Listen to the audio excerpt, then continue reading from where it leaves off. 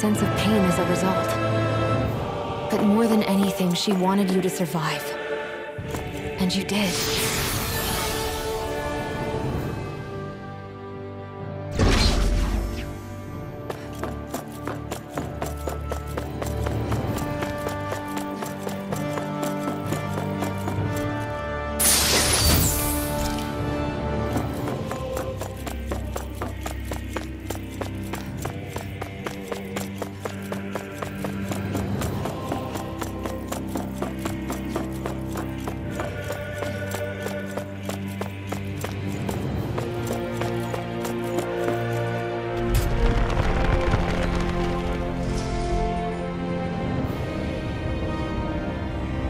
Place.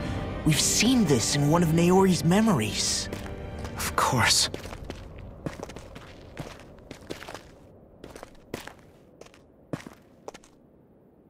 After 300 years, this is where it was held. The spirit channeling ceremony. This is where the Renis Alma was. So this is the place where you and Naori... The Renis Alma isn't here now. Nor is the Red Woman, it seems. I know it's difficult, Alphen, but there will be time to dwell on the past later. For now, we need to keep moving. Come on.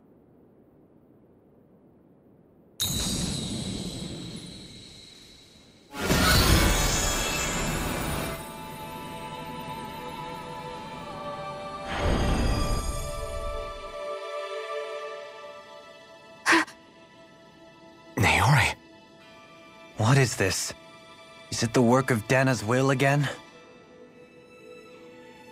It's been a year since the ceremony.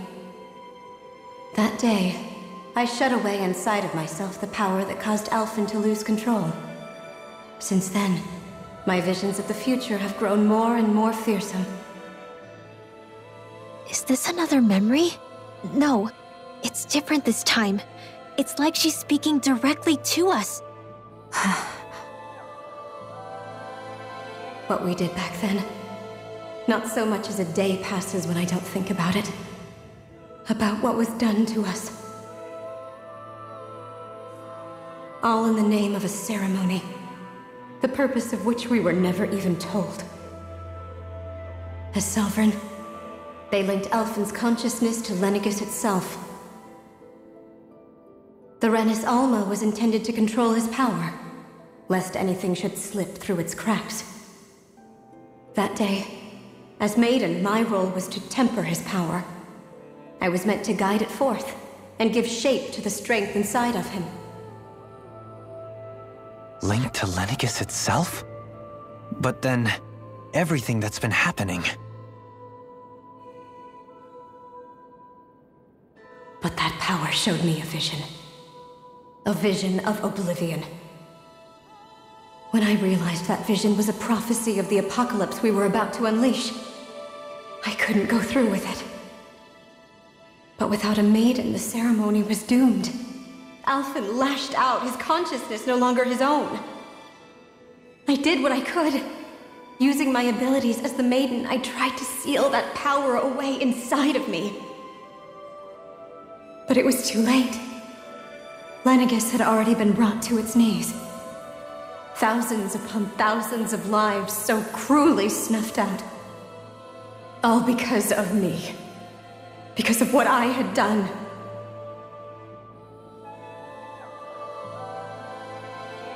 With the destructive force now slumbering inside of me, I knew I had to find a way to dispose of it. Anything to make up for my failure. But I didn't know how.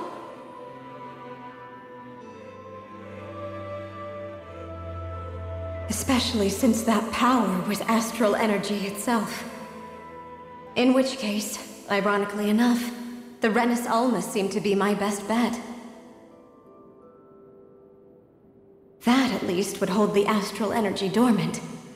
Assuming that no malevolent third party got to it first.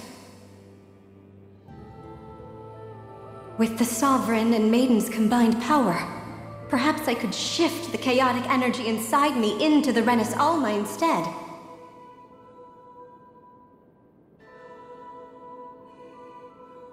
That's what I hoped, but alas, it was not to be. The Renis Alma was lost, and Alphen, the Sovereign was in a starship bound for Dahna. My only choice was to seal away the destructive force inside of me using my powers as the Maiden, to buy the world what little time I could. The time needed for a new Renis Alma to be crafted, and for a new Sovereign to appear. Even if by doing so, it meant I would be passing the curse on to my descendants as well.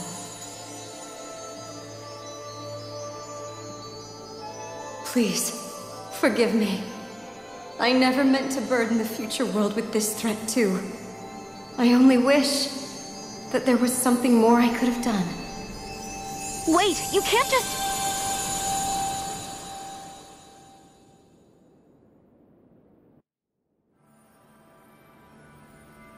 Naori. That message just now, was it directly from Naori? Or was it the Dahnan voice speaking through her?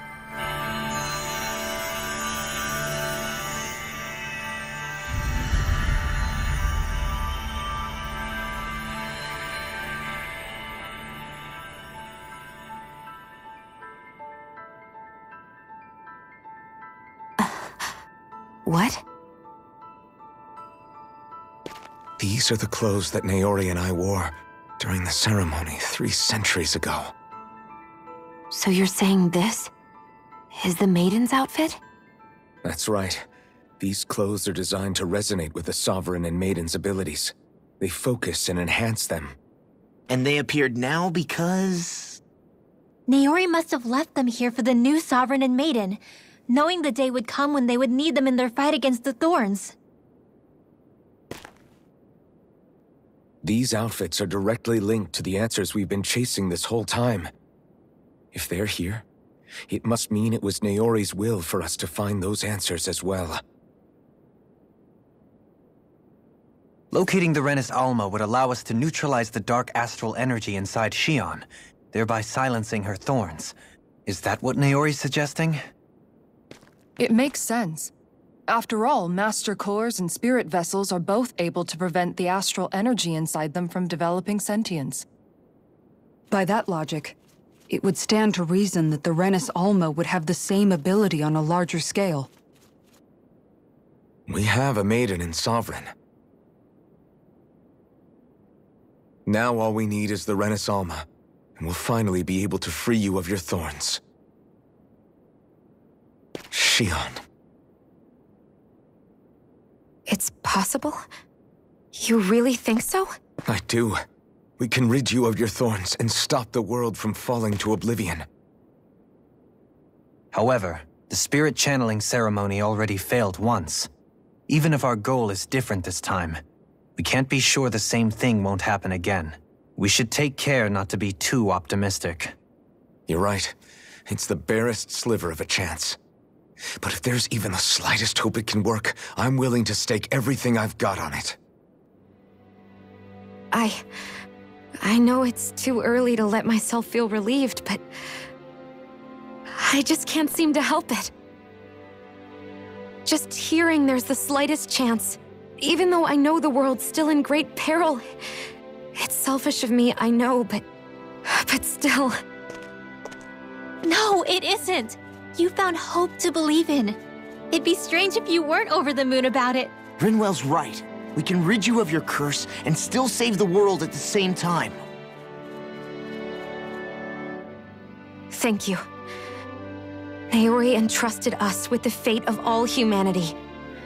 Now, it's up to us to prove that trust was well placed. Starting with a little game called Hunt the Renis Alma. Yeah, we've come all this way. Now we just need to search Lenegis and Rena until we find it. Yeah! We can protect the world and save Shionne at the same time! I too shall lend my services. My knowledge of Renan lore is bound to be a useful asset. And they say modesty is dead.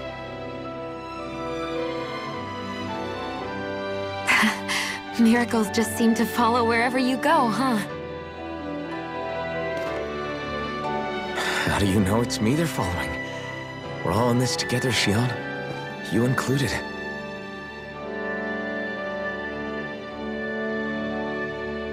Now let's get moving, shall we? Last I heard, we had an apocalypse to stop.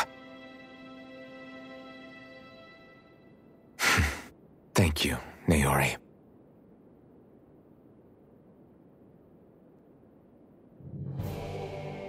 So Naori sealed away the power that made me lose control of myself. She stopped my rampage and saved my life.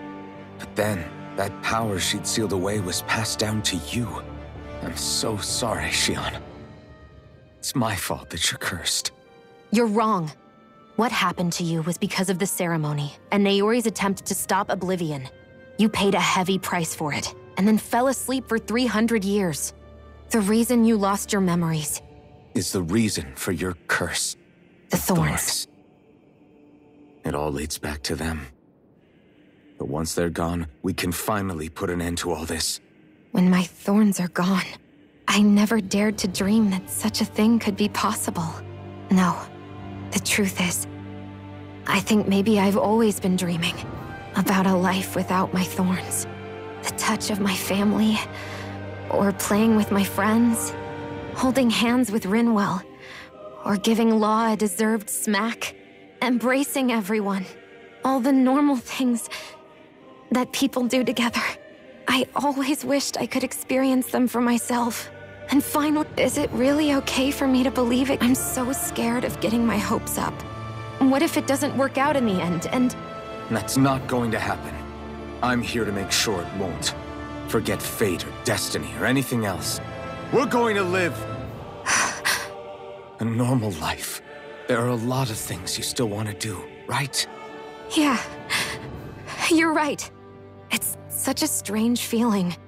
I know that we've still got plenty of fighting up ahead. And it's for my sake. So I can live. You're worth fighting for. I believe you, Alphen. Good. I'll keep on fighting. For as long as it takes. Until our future is finally in our hands.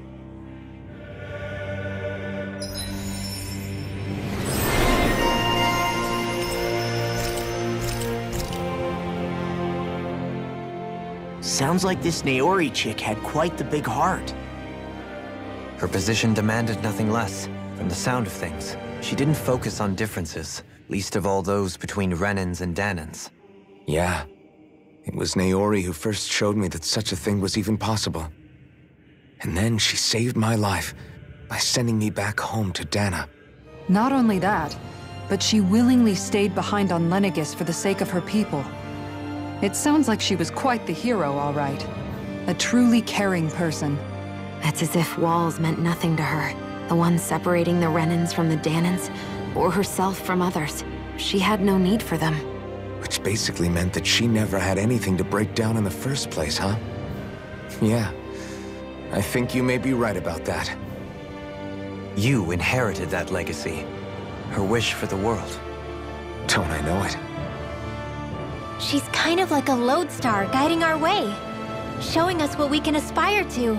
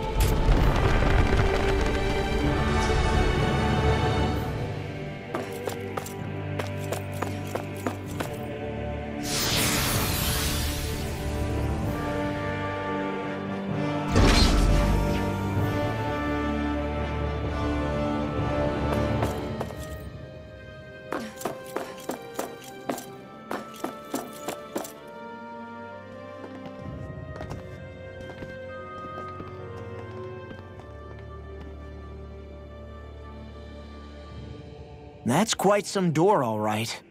This might finally be it. The heart of the beast. We'll find the Renis Alma and the Red Woman inside, right? After everything we've been through to get here, they damn well better be. We'll probably be needing you to open this one for us, Sovereign. Go for it, Alphen.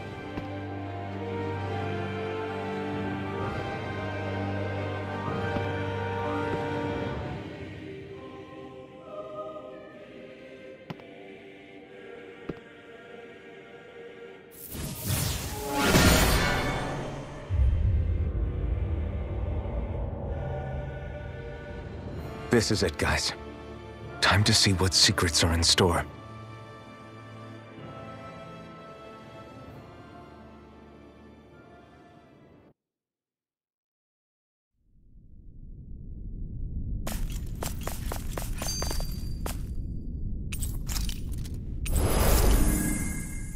We're a long way from the residential quarters now. It looks completely different.